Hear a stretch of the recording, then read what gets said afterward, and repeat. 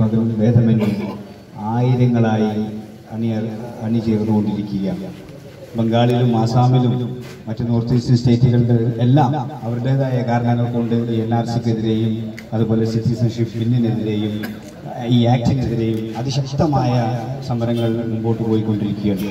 അതുപോലെ തന്നെയാണ് ഇന്ത്യയിലെ പ്രമുഖമായ എല്ലാ ക്യാമ്പസുകളിലും രാപ്പകൽ ഭേദമന്യേ സമരം നടന്നുകൊണ്ടിരിക്കുകയാണ്. കഴിഞ്ഞ വെള്ളിയാഴ്ച ജുമക്ക് ശേഷം തുടങ്ങിയ പാർലമെന്റ് മാർച്ച് മുതൽ ഇന്ന് ഈ നിമിഷം വരെ ജാമ്യ മില്ലിയ ഉറങ്ങിയിട്ടില്ല കഴിഞ്ഞ വെള്ളിയാഴ്ചയാണ് ജുമക്ക് ശേഷം പാർലമെന്റ് മാർച്ച് തീരുമാനിക്കുന്നത് തീരുമാനിക്കുന്നതും.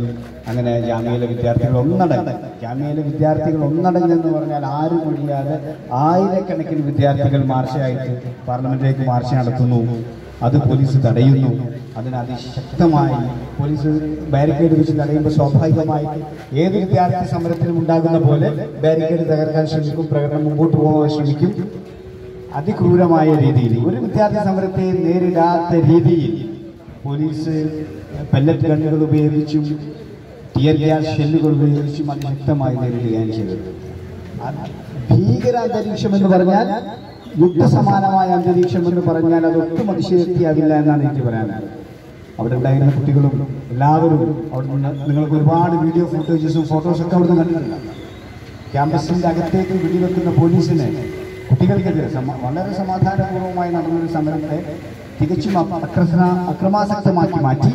അതിനെതിരെ അതിശക്തമായി ആഞ്ഞടിക്കുക എന്നുള്ള പോലീസ് കാലങ്ങളായി ചെയ്തുകൊണ്ടിരിക്കുന്ന അതേ ടാക്ടിക്സ് ഉപയോഗിച്ച് തന്നെയാണ് ജാമ്യാന സമരത്തെ നേരിട്ടത്. നാല് മണിക്കൂറോളം ഈ ടിയർ ഗ്യാസ് പ്രയോഗവും അതുപോലെ ഈ പെല്ലറ്റ് പ്രയോഗവും തുടർന്നു ക്യാമ്പസിനകത്തേക്ക് വെടിവെക്കുന്ന പോലീസിനെ നമ്മൾ അധികമൊന്നും കണ്ടിട്ടില്ല. ക്യാമ്പസിനകത്തേക്ക് പോലീസ് കയറാൻ പാടില്ല എന്നുള്ളതാണ് നിയമം. ക്യാമ്പസിൽ പോലീസ് കയറണമെങ്കിൽ വൈസ് ചാൻസലർ നേരിട്ട് വിളിക്കണം. പ്രോക്ടർ അനുമതി ഉണ്ടായാൽ മാത്രമേ ഒരു ഫോഴ്സിൽ ക്യാമ്പസിനകത്ത് കയറാൻ പാടൂ എന്നുള്ളതാണ് നിയമം. നമ്മളാരും കാണാറില്ല. അവിടെ യൂണിവേഴ്സിറ്റി ക്യാമ്പസിലോ കോളേജിനകത്തോ പോലീസ് കയറി തന്നെ നിങ്ങൾ കണ്ടിട്ടുണ്ട്. അകത്ത് കയറി എന്ന് മാത്രമല്ല ക്രൂരമായി കുട്ടികളെ മർദ്ദിക്കുകയും ചെയ്തു. അതിനുശേഷം ശനിയാഴ്ചയാണ് ജാമ്യ മില്ലിയുടെ പരിസരത്തുള്ള ജനങ്ങളും വിദ്യാർത്ഥികളും ഒന്നടങ്കമുള്ള ഒരു സംയുക്തമായ ഒരു വമ്പിച്ച പ്രകടനം ഈ സൗത്ത് ഇന്ത്യൻ സൈഡിലേക്ക് നീങ്ങിയത്.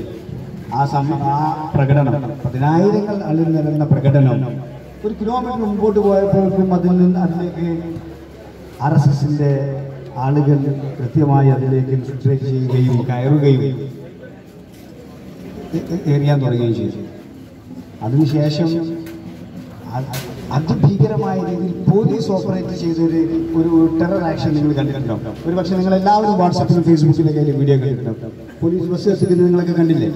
പോലീസാണ് ബസ് അതെന്തിനാണ് കത്തിക്കുന്നത് അല്ലെങ്കിൽ അങ്ങനെ ആക്രമണങ്ങൾ ഉണ്ടാക്കുന്നതിനാണ് ഒരു വർഗീയ ധ്രുവീകരണമാണ് അവരത് ലക്ഷ്യമാക്കുന്നത് അതായത് മുസ്ലിങ്ങൾ വരുന്നു ഹിന്ദു ഏരിയനെ ആക്രമിക്കുന്നു എന്നുള്ളൊരു പ്രതീതി സൃഷ്ടിച്ചെടുക്കാൻ വേണ്ടിയിട്ട്.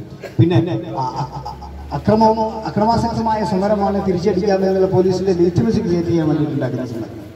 അതിനുശേഷം ഈ വീഡിയോകളൊക്കെ പുറത്തു വന്നതിന് ശേഷം യാതൊരു മടിയുമില്ലാതെ ഈ കാരണം പറഞ്ഞുകൊണ്ട് ജാമ്യ മില്ലിയയിലേക്ക് ഡൽഹി പോലീസും അതുപോലെ പാരാമിലിറ്ററി ഫോഴ്സസും കൂടെ കയറി വരിക എല്ലാ സർവസന്നാഹങ്ങളും കൂടി കയറി വന്നിട്ട് ജാമ്യയുടെ ലൈബ്രറിയിൽ പഠിച്ചുകൊണ്ടിരിക്കുന്ന കുട്ടികൾ. അപ്പോൾ ആ സമയത്ത് ലൈബ്രറി ഉണ്ടാകും നമ്മൾ ചോദിച്ചു. ജാമ്യയുടെ ലൈബ്രറി ഏകദേശം പന്ത്രണ്ട് മണി വരെ തുറക്കും രാത്രി. രണ്ട് മണി വരെ ലൈബ്രറി ഉണ്ടാവും. ആ ലൈബ്രറിയിലൊക്കെ നിറച്ചും കുട്ടികളുണ്ടാവും നിറച്ചും കുട്ടികളുണ്ടാവും ഗ്ലാസുകൾ മുഴുവൻ അടിച്ചു തകർത്തു. ടിയർ ഗ്യാസുകൾ ഉപയോഗിച്ചു നമുക്ക് ടിയർ ഗ്യാസ് പക്ഷേ പരിചയം ഉണ്ടാവാം. ടിയർ ഗ്യാസ് പ്രയോഗിച്ചു കഴിഞ്ഞാൽ പിന്നെ നമുക്ക് ഒന്നും കാണാൻ പറ്റില്ല. ടിയർ ഗ്യാസ് ആണ്. കണ്ണീര് വരാനുള്ള വാതകമാണ് അതിൽ ഉപയോഗിക്കുന്നത്. നല്ല അതിശക്തമായ ശ്വാസം തടസ്സം. കാഴ്ച വാങ്ങി പോവാം ഓടി രക്ഷപ്പെടാൻ പോലും കഴിയാത്ത രീതിയിലേക്ക് സൃഷ്ടിക്കാം നൂറുകണക്കിന് വിദ്യാർത്ഥികൾ തിങ്ങി നിറഞ്ഞിരിക്കുന്ന ലൈബ്രറിയിലേക്കാണ് ടിയർ ഗ്യാസ് പ്രയോഗം നടത്തുന്നത്. അതിനുശേഷം പിന്നെ പള്ളിയിൽ ഇശാന്യമാർക്ക് നടക്കുന്ന സമയമാണ്. പള്ളിയിൽ കയറി തന്നെ പള്ളിയിൽ പള്ളിയിൽ നമസ്കരിക്കുന്നവരും പള്ളിയിലേക്ക് ഓടിക്കയറിയവരൊക്കെ പോലീസ് എടുത്തിട്ടടിച്ചു അതിന്റെയൊക്കെ ഫോട്ടോസും കാര്യങ്ങളൊക്കെ നിങ്ങൾ കണ്ടിട്ടുണ്ടാവും. ഇങ്ങനെ മാരകമായി അടിച്ച് കുട്ടികളെ നൂറും നൂറ്റൻപതും ഒക്കെ ആളുകളുള്ള പോലീസ് ഫോഴ്സ് അൻപതും അറുപത് കുട്ടികളെ വളഞ്ഞിട്ട് പിടിച്ച് തല്ലിയതിനു ശേഷം കൈകൾ ഉയർത്തി പിടിച്ച് കൈകളൊക്കെ ഇങ്ങനെ മേലോട്ട് പൊന്തിച്ചിട്ട് യുദ്ധ കുറ്റവാളികളെ കൊണ്ടുപോകുന്ന പോലെ അല്ലെങ്കിൽ അത്രയും വലിയ ക്രിമിനലുകളെ നടത്തിക്കൊണ്ടുപോകുന്ന പോലെ റോട്ടിലൂടെ നടത്തി കൊണ്ടുപോകുന്നത് നിങ്ങൾ കണ്ടിട്ടുണ്ടാവും. എൻ ഡി ടി വിന്റെ ഫുട്ടേജ് വന്നിരുന്നത്. എൻ ഡി ടി വി ലൈവായിട്ട് ടെലികാസ്റ്റ് ചെയ്യുന്നതാണ്. ഇന്ത്യ മഹാരാജ്യത്തെ എല്ലാ യൂണിവേഴ്സിറ്റികളിൽ പതിനായിരക്കണക്കിന് കുട്ടികളോട് പരീക്ഷ എഴുതി ക്വാളിഫൈ ചെയ്ത് മത്സരിച്ച് സീറ്റ് മേടിച്ച കുട്ടികളെയാണ് ഈ ക്രിമിനലുകളെ പോലെ കൈയും ഉയർത്തി പിടിച്ചുകൊണ്ട് റോഡിലൂടെ നടത്തിയത്. അതിനുശേഷം ഹോസ്റ്റലിൽ എല്ലായിടത്തും അതി അതിക്രൂരമായ രീതിയിലാണ് പോലീസ് ഇതിനെ കൈകാര്യം ചെയ്തിട്ടുള്ളത്. പോലീസ് ഇത് കൈകാര്യം ചെയ്യുന്നത് കാണുമ്പോൾ നമുക്കതിൽ അത്ഭുതമൊന്നുമില്ല. ഇന്ത്യ മഹാരാജ്യത്തെ പോലീസ് എല്ലാ കാലത്തും ഇങ്ങനെയൊക്കെ തന്നെയാണ് ഇവിടുത്തെ ന്യൂനപക്ഷ സമുദായങ്ങളെ വേട്ടയാടിയിട്ടുള്ളത്. ഹാഷിപുര മസാക്കർ എന്ന് പറയുന്ന മീററ്റിലുണ്ടായ തൊള്ളായിരത്തി എൺപത്തി ഏഴിലുണ്ടായ ഒരു കലാപത്തെ കുറിച്ച് നിങ്ങളൊക്കെ കണ്ടിട്ടുണ്ടാവും. പി എസ് സി എന്ന് പറയുന്ന പോലീസ് ആം കോൺസ്റ്റാബിളറി ഉത്തർപ്രദേശ് സർക്കാരിന്റെ ആളുകൾ പോലീസുകാർ എൺപത്തി ആറ് പേരെ ഒരേ ദിവസം വെടിവെച്ച് കൊണ്ടത് നിങ്ങളൊക്കെ കണ്ടിട്ടുണ്ടാവും. അത് ഒരുപാട് സംഭവമുണ്ട്. അലഹബാദ് ഹൈക്കോടതി ജഡ്ജിയായ എൻ മുല്ല ഒരു ജഡ്ജിമെന്റ് പറഞ്ഞിട്ടുണ്ട്.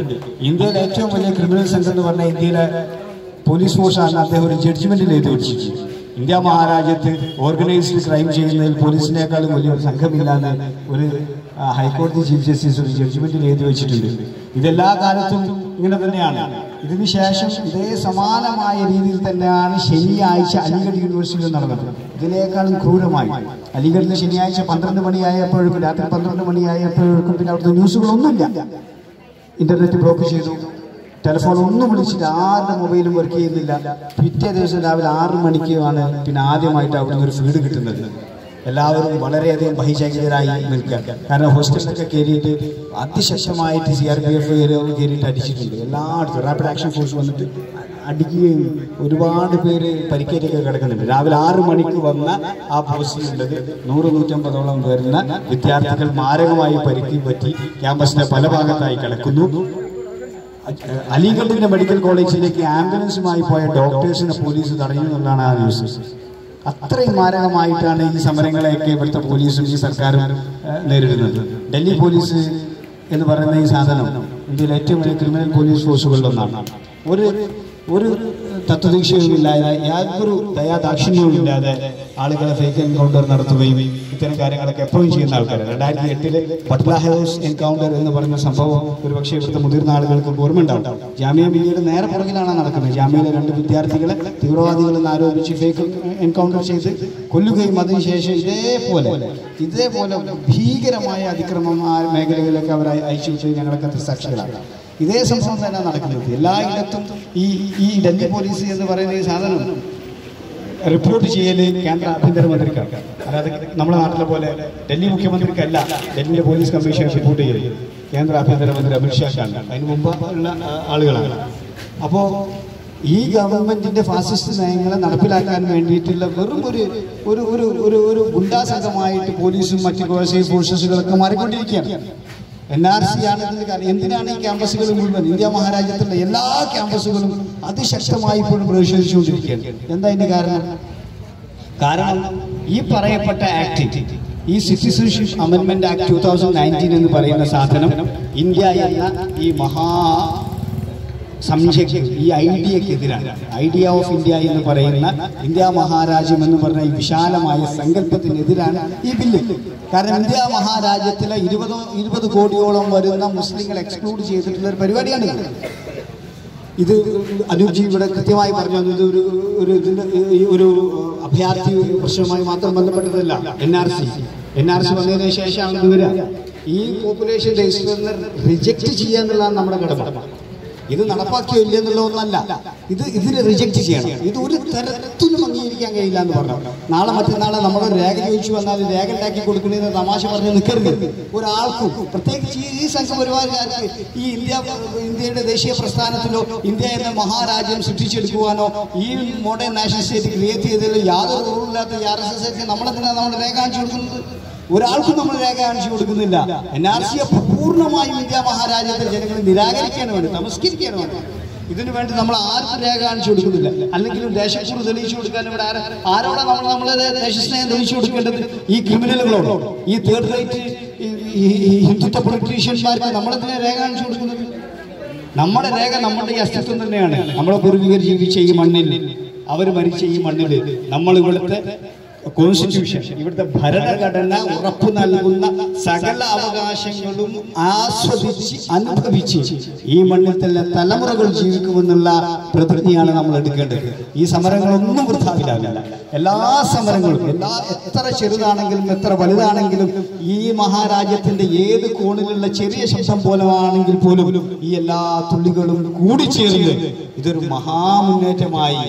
എൻ ആർ സി എന്ന് പറയുന്ന ഈ പദ്ധതിയെ പൂർണ്ണമായും ഇന്ത്യ മഹാരാജ്യത്ത് ജനങ്ങൾ നിരാകരിക്കണം അങ്ങനെ ആവുമ്പോൾ പിന്നെ സിറ്റിസൺഷിപ്പ് അമെന്റ്മെന്റ് ആക്ടിനൊന്നും വലിയ പ്രസക്തി ഇല്ല അതൊക്കെ അങ്ങനെ തന്നെ ഇ- ഇല്ലാണ്ടായിക്കോളും ഒരൊറ്റ കാര്യം കൂടെ പറഞ്ഞ് ഞാൻ നിർത്തുകയാണ് നിങ്ങളൊക്കെ കേട്ട് ഒരുപാട് സുപരിചിതമായ രാഹത്തിന്റെ ഓരിയുടെ രണ്ടു വരി ഷായരി പറഞ്ഞ് ഞാനിതാ നിർത്താൻ പോകുന്നു സഭീ का खून शामिल है इस मिट्टी में सभी का खून शामिल है इस मिट्टी में किसी का बाप का हिंदुस्तान थोड़ी है എല്ലാവരുടെയും രക്തം വീണ് നനഞ്ഞ മണ്ണാണിത്.